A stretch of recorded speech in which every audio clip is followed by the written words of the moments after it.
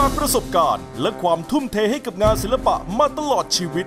ทั้งสร้างผลงานศิลปะด้านจิตรกรรม ประติมากรรม เกี่ยวกับพุทธศิลป์มามากมายทำให้มีชื่อเสียงเป็นที่รู้จักในระดับนานาชาติ อาจารย์เฉลิมชัย โคสิทธิพิพัฒน์หนังสืออินเตอร์เล่มแรกของอาจารย์เฉลิมชัย โคสิทธิพิพัฒน์ศิลปะไทยร่วมสมัย เฉลิมชัย โคสิทธิพิพัฒน์รวบรวมผลงานศิลปะ ภาพจิตรกรรม ประติมากรรมวัดร่องคุณและภาพผลงานออกแบบที่ไม่เคยตีพิมพ์ในหนังสือเล่มไหนมาก่อน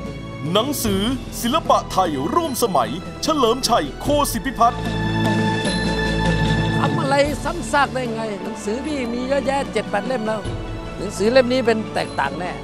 เป็นหนังสืออินเตอร์